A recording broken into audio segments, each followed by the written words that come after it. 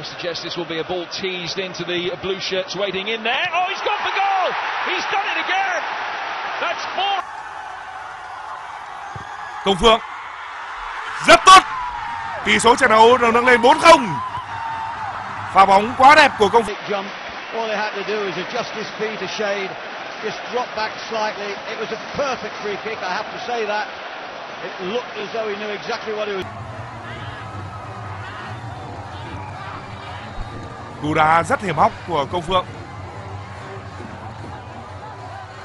Trong những buổi tập trước khi diễn ra trận đấu này thì công Phượng và Thanh Hiền là hai cầu thủ thường xuyên đá phạt. Then